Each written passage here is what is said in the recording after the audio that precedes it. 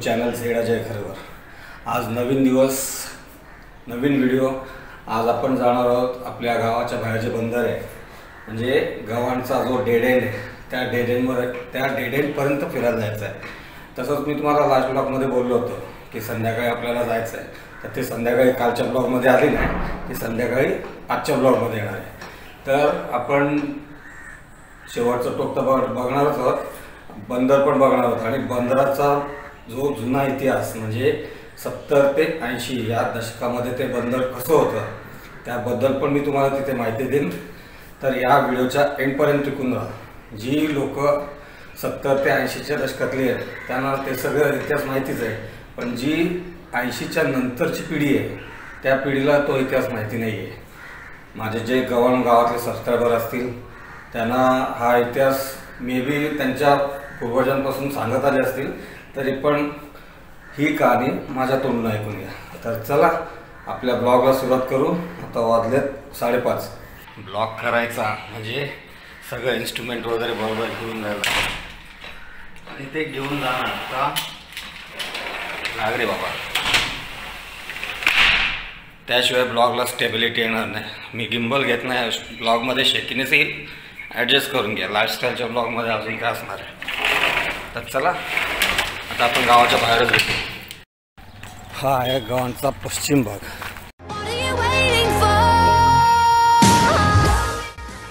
इथे होतं मैदान.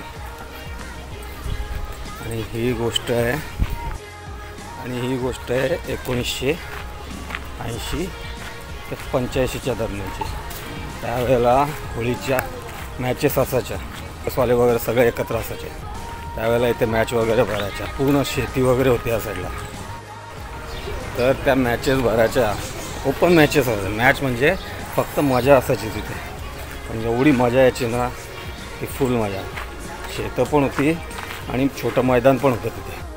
हा एक गव्हाणचा बंदर रोड. चार फाटा. है ना? हा इथून एक रोड आहे या साईडने एक.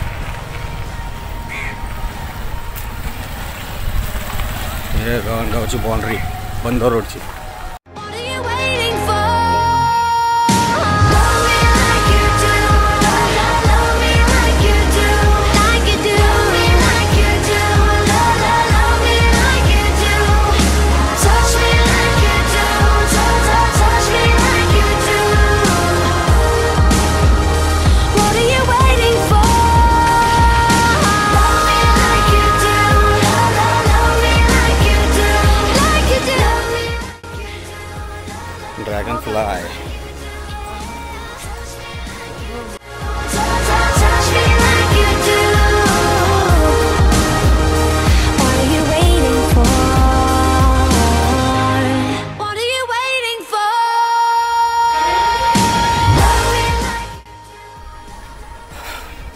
पहिले या इथे मोठा एक डोंगर होता. म्हणजे ही गोष्ट आहे सत्तर ते ऐंशीच्या दशकातली. या इथे मोठा डोंगर होता आणि त्या डोंगरांना फक्त दोनच नारळाची झाडं होती.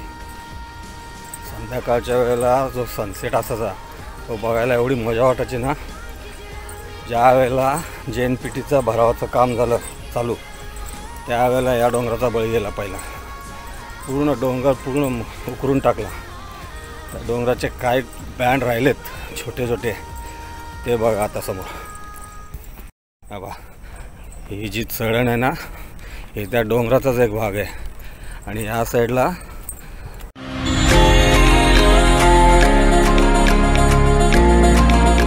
आणि ह्या साईडला एक होती बाग बाग पण होती आणि करवंदांची झाडं पण होती.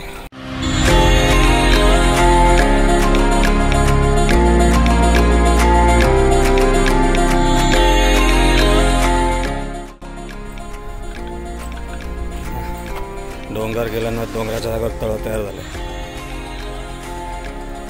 आणि विशेष म्हणजे हे गोड्या पाण्याचा तलाव आहे. आणि इकडे एक विहीर पण आहे.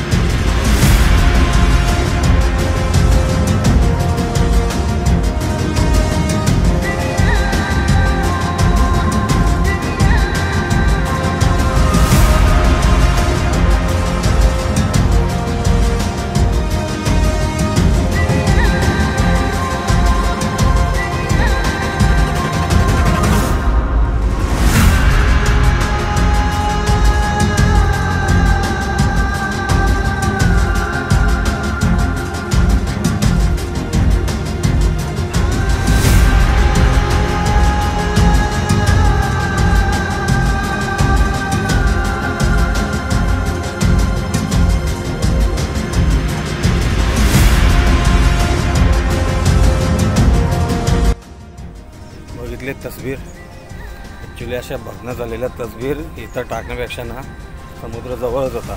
समुद्रात टाकल्या असतं तर बरं झालं असतं. असे तस्वीर आपण आवडीने आणतो. खराब झाल्या तुटफूट झाली का आपण अशा फेकतो. ॲक्च्युली असं फेकायला नाही पाहिजे. एवढ्या खराब झालेल्या तस्वीर असतात ना सर्व पाण्यामध्ये सोडायच्या असतात. अशा उघड्यावर टाकू नका.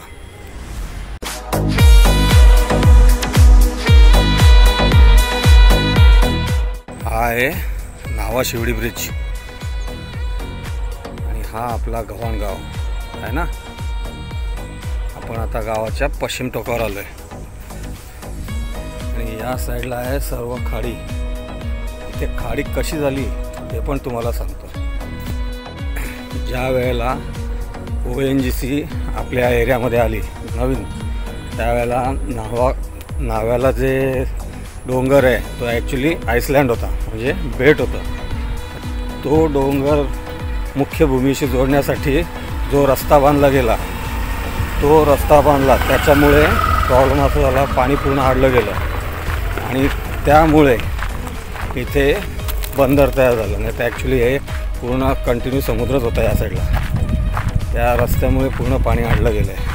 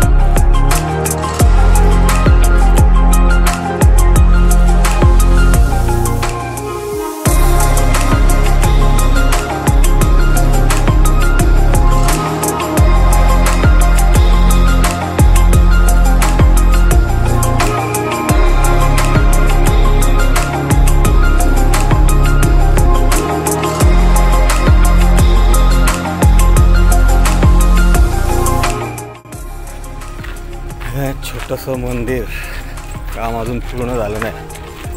शंकराचं मंदिर आहे. ना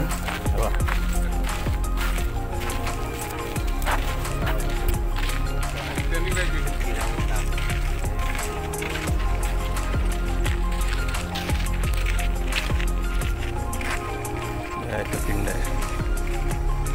झाडी आहे त्याच्यामुळे दिसत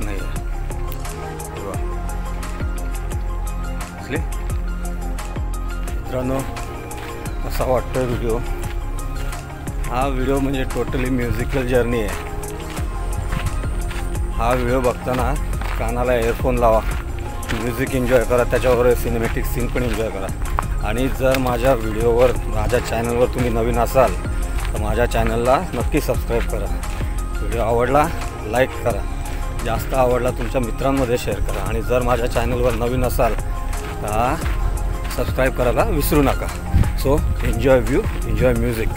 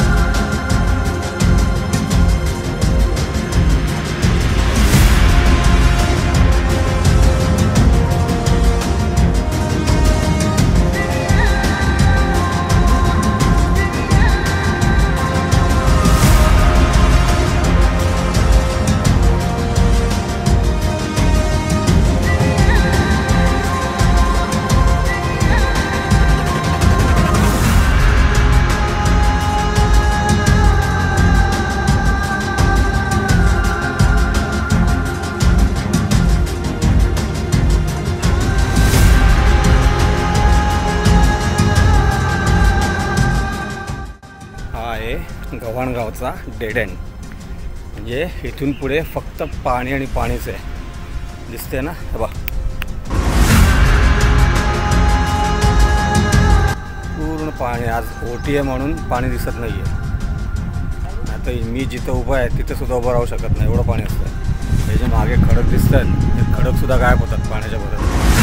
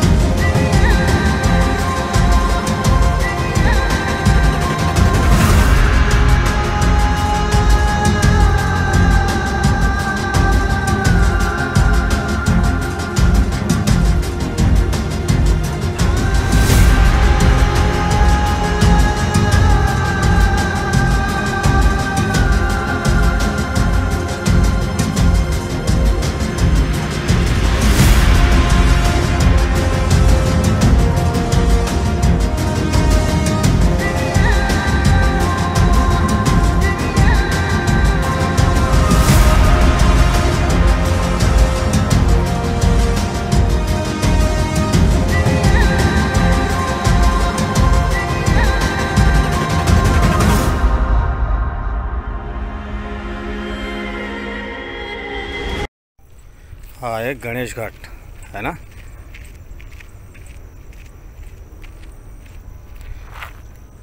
या तलावाचं वैशिष्ट्य असं आहे हे तलाव आहे ना हा मॅनमेड तलाव आहे. हा बनवलेला आहे आणि गणपतीचं जे विसर्जन असतं त्यावेळेला इथे तुफानी गर्दी असते. माझा गणपतीचा माझा हा विसर्जनाचा पण मी व्हिडिओ टाकलेला आहे. माझ्या चॅनलच्या प्लेलिस्टमध्ये जा इथे माझा गाव माझी संस्कृती ही जी सिरीज आहे या सिरीजमध्ये तो व्हिडिओ आहे. गव्हाणगावचं गणपती विसर्जन. त्यावेळेला काय गर्दी असते काय मजा असते ती सर्व याच्यात टिपलेली आहे मी. तर नक्की तुम्ही बघा तुम्हाला मजा वाटेल आनंद पण येईल. तोपर्यंत काय करा या व्ह्यूचा एन्जॉय करा त्याच्याबरोबर सिनेमॅटिक म्युझिक तेही एन्जॉय करा.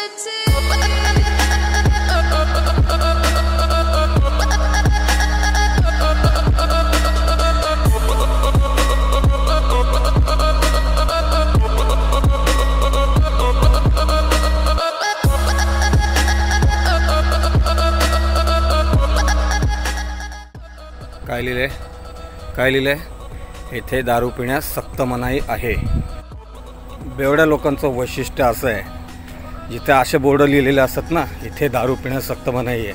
बेवडे नेमकी तिथंच जाऊन दारू प्यायला बसतील.